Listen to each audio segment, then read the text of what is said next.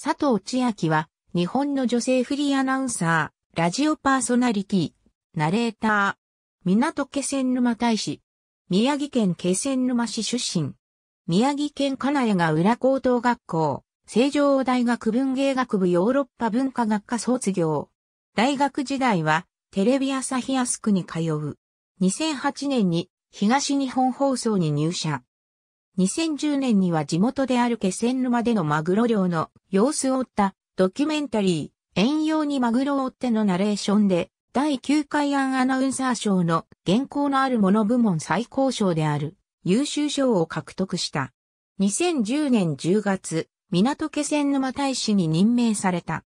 2011年4月、名古屋テレビ放送に移籍し、2014年3月をもって退社した。2014年4月からフリーアナウンサーとして活動を開始した。VASP に所属している。ラジオパーソナリティとしても活躍するほか、ナレーター、東北関連イベント MC も多数、務め、地元、東北の復興にも尽力している。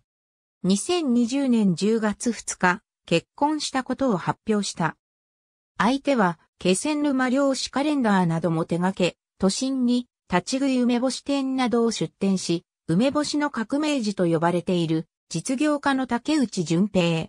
義父は落語家の立川志之助である。太字は現在出演中ミニ特集と天気コーナーを毎日担当。佐藤が担当した時に始まったお天気三択の視聴者参加型のクイズコーナーでは、その真剣で素直な回答ぶりで人気を集めた。ありがとうございます。